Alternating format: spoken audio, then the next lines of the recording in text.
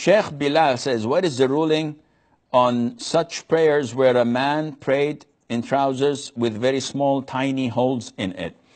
A Muslim must cover his awrah, especially when he is offering prayer. Negligible holes do not affect your prayer. If you have a big hole on your uh, trousers, exposing your thigh, for example, this renders your salat invalid because you must cover your awrah. Doing the opposite intentionally, because this is intentional. You could have covered it with anything, with a handkerchief or with another thobe, or change your trousers.